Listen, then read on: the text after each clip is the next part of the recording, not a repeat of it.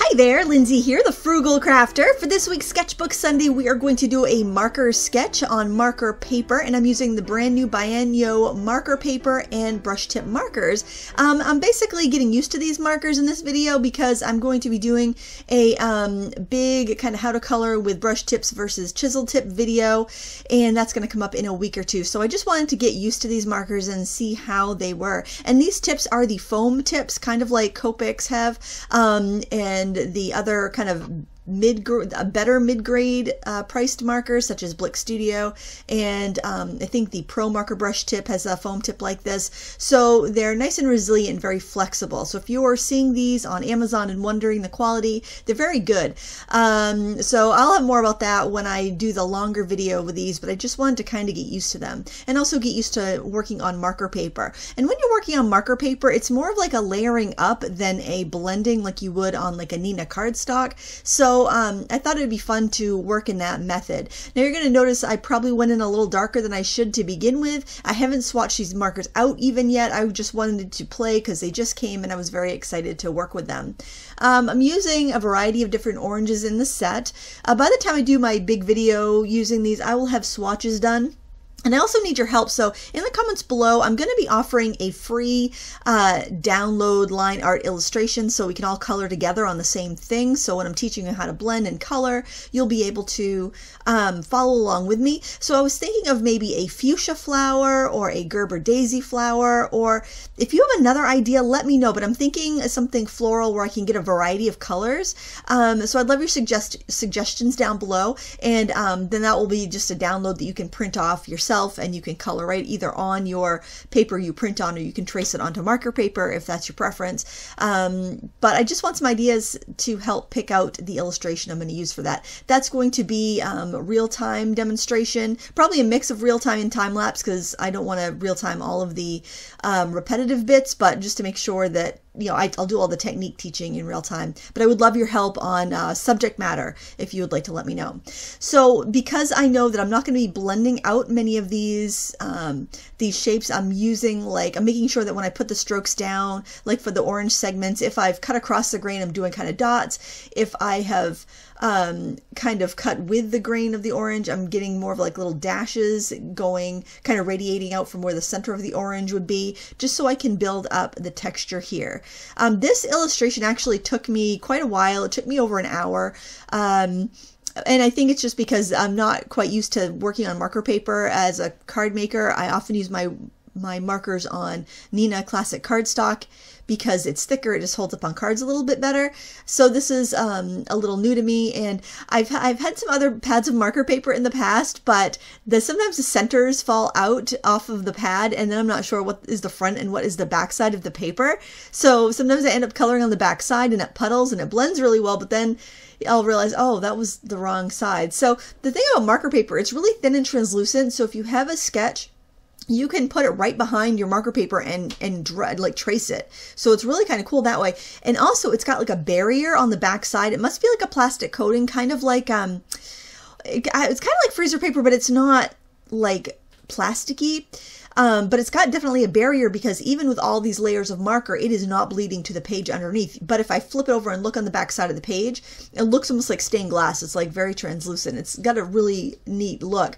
Um, so I figured I'd better do a few uh, practice pages on this paper, you know, before I do the uh, the big video because I also want to show the difference between coloring on a, car a marker cardstock versus a um, marker paper because marker paper is not going to buckle when you're using these markers on it. It's going to stay nice and flat. The only issues you're going to have with buckling is if you do some mixed media or you add some pencil and it ends up denting the paper, which you'll see later on in this video. Um, I end up going over with some paper, with some pencil, and then I'm like working in the through the pad later on that day, sitting on the couch watching TV, and I'm coloring. I'm like, oh, I've totally made orange marks over, like orange outline marks on all of the other papers, just because the pencil dented it so much. So it's just something to kind of kind of keep in mind. So you don't need to put like a piece of paper underneath this to protect your next sheet of marker paper, but if you're going to um, use like colored pencils on top, you might want to pull off that sheet of marker paper and use it on a clipboard or something so you don't end up uh, indenting your pages underneath. Um, so I'm basically just layering up here. Um, I wish I had swatched beforehand because, um, but then again, I was just playing. I just got these. I just wanted to play with them.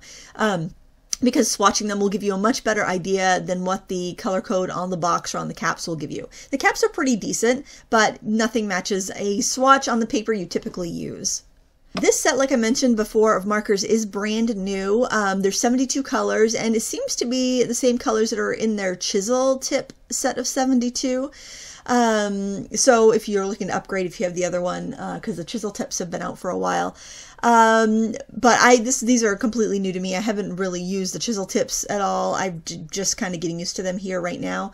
Um, but I'm very pleased with them. The, there's a great selection of oranges in this kit, orange shades. Um, I used some oranges, grays, and purples for this, so I didn't really get into all the colors. But then I was doing some blending practice later on in the day using like the feather blend technique on the marker paper, and they worked excellent. Um, so yeah, just, oh, right, what I'm doing here, this is a really great tip. It works better on cardstock or if you haven't oversaturated your paper, but if you take the clear blending marker and you dab it, if you want big dabs, use the brush tip. If you want smaller dabs or smaller kind of like texture, use the, um, the chisel tip because you can get on the edge and it will release less ink, but that will give you that onion, onion, orange peel texture that the orange peels have. Uh, so that's what I'm doing there just to give it a little bit of texture. Uh, I shouldn't have put so much ink down, honestly, if I wanted to get back to the white of the paper, but being a newbie to marker paper, not really a newbie, but unexperienced, I, I've used marker paper for years, but I've never like spent a lot of time on it.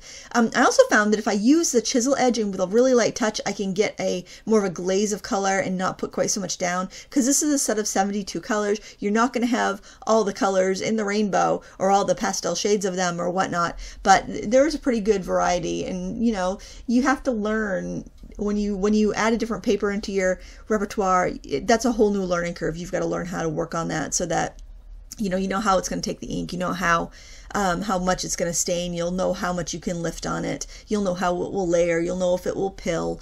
Um, so that and, and, you're watching me practice and that's what sketchbook sunday is all about. Me getting some practice in that isn't necessarily perfect that i am learning myself. That's why these are time lapse and not in real time, unless they're. Um, sometimes I do them in real time for Critique Club, but the, I did not feel like I would be able to explain what I'm doing because I was just practicing here. Um, so I hope you find it relevant and helpful um, to see kind of how these layers build up. But my real my real hope is that you will comment down below and let me know what you want me to offer for the free um, inked illustration download because I want to make sure I put something up there that's inspiring for you guys to color along with me because it's so much easier to learn when you are interested in your subject matter. So, uh, so if you could help me out with that, that would be really excellent. I like this paper. I, I it seems very much the same as the Winsor Newton marker paper I've used before, um, and the Canson marker paper and Strathmore marker paper and Premier marker paper. I really don't find a huge difference between these brands, but it could just be my inexperience with marker paper. It's like if you gave me a stack of watercolor paper, I could probably tell you the maker of each watercolor paper because and whereas someone would just be like it's watercolor paper um, you know because i'm more used to using that and more used to using watercolors so uh, this this paper seems great i didn't have any feathering issues which was surprising compare considering the massive amount of ink i'm using here um, the thing about marker paper though is that it doesn't suck in as much ink as your cardstock will. So if you are not interested in having a thick paper, if you don't need that for card making or you don't want that for card making, um, it's gonna it's gonna be a lot less um, use on your markers, which means your markers are not going to dry out quite as quickly. So that's something to consider. Um, if you're maybe an illustrator or a, you, you know you just want to color with markers, you don't care about making cards. The reason I would recommend cardstock for if you're making cards is that this paper is translucent. So if you're using this on a card, you'd either want to make sure whatever you have underneath it is white, or you might want to like glue it onto some white cardstock just to make sure that you've got a nice opaque white behind there. Otherwise, it's going to be translucent. Then again, that might give you an ethereal look that you like, but if you put that on top of a pattern paper and you could kind of see the pattern through, that kind of might be cool too. So um, just know the qualities of the materials you're working with, and um, and then you get greater variety as you're going. Now this was neat. I love using this really really pale lilac color for my shadows here. Um, if I went over the yellow areas, it kind of went muddy, but over the orange, it was just enough off to give me a really natural looking shadow. These are Caracara oranges, which honestly, my family did not care for these oranges. They're a little too sweet for my taste. That's why I didn't eat them. I decided to sketch them instead. Because usually, if my kids leave fruit left over, I would just eat it for my breakfast. Um, but I don't like these really sweet oranges. I'm not going to buy these again. But I think they made for a pretty interesting um, drawing a sample because they kind of have this corally, orangey, um, reddish fruit on the inside. They're not as light as like a navel orange. So I thought it was kind of an interesting um, interesting thing to use. If you hear my cat meowing, she is like, uh, she's in the studio with me and she's just kind of like saying, okay, I'm bored now. I want to go. Let me out. Um, so I used a really pale gray. I think it was a cool gray one or two. And now I'm going in with a cool gray four. And this, um, you can see the cutting board that these oranges are on right on my screen there. You can see it's got that kind of uh, mottled texture. So I'm tapping, um, I'm kind of tapping with the tip of my my uh, marker. I'm not going to try to get the whole background, the whole value as dark as the cutting board that it's on, but I just want to kind of make a vignette by adding that shadow around it. Um, as you can see, there's, well, I could see a little bit more where I'm sitting because I do have four lights pointed towards the center of my table to make sure it's nice and evenly lit.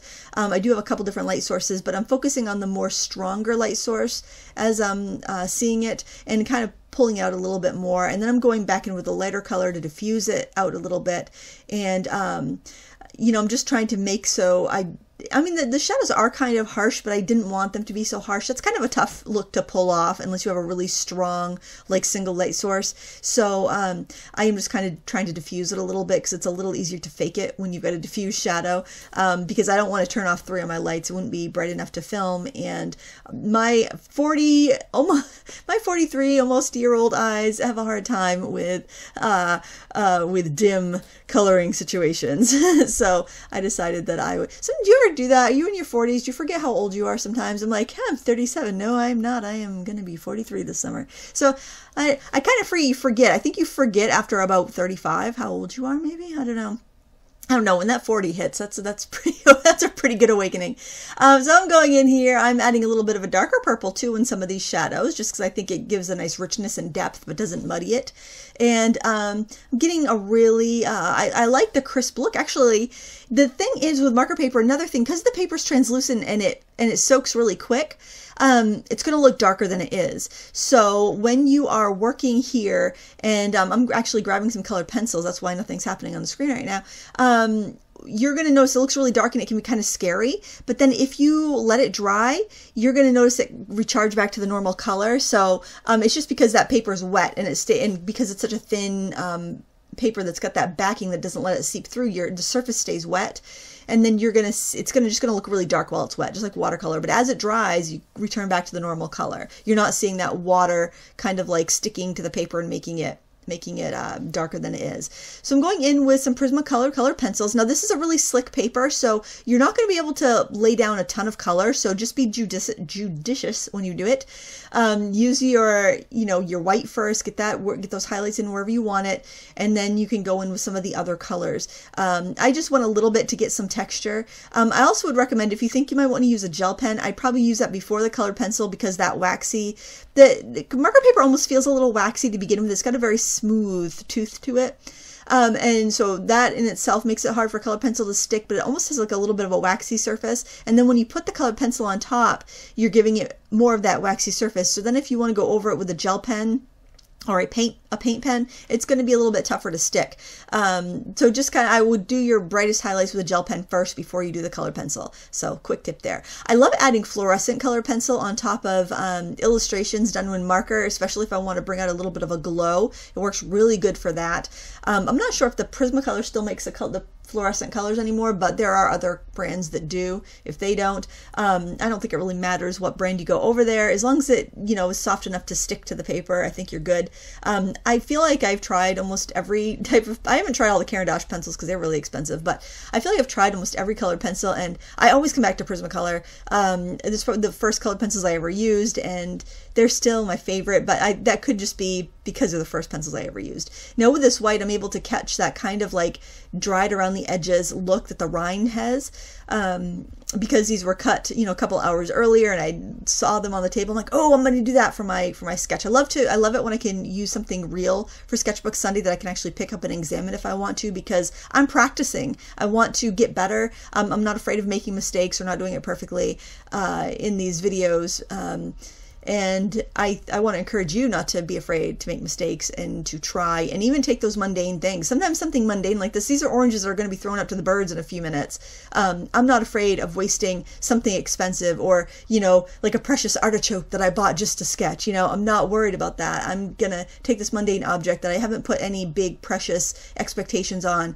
and I am going to sketch it the jelly roll pen i, I got the, uh, one of these white jelly rolls in a smart art box. Not my favorites. I don't recommend that gel pen. I really recommend a white posca fine tip pen like this here. I also like the um, uniball signo broad gel impact gel pen. Um, those two pens are ideal. You can actually get packs with both of them in there on amazon. The nice thing about the posca is you can actually take the top off and refill it. And i use a thin down block out white acrylic paint when i refill mine. Um, so that's nice too. I love it when i can reuse something because who hate to run out of something in the middle of a project. You can fix it and refill it. And then I'm just adding some little dots to give it that onion. Why do I want to say onion peel? Orange peel texture. Um, and that's pretty much all I'm going to do to this sketch. Um, just tweak it a little bit, but that's it. And if you enjoyed this, please give me a thumbs up. I will have a link to all the products I used in the video description and let me know what you think about the subject matter for the in-depth coloring tutorial I'm going to be doing soon. Thank you so much for watching. Until next time, happy crafting.